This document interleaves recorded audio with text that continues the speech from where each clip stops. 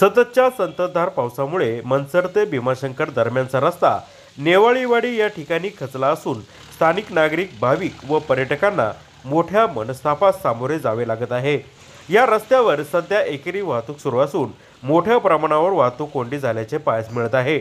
Junnar टाइम्ससाठी Tukaram बांगले घोडेगाव.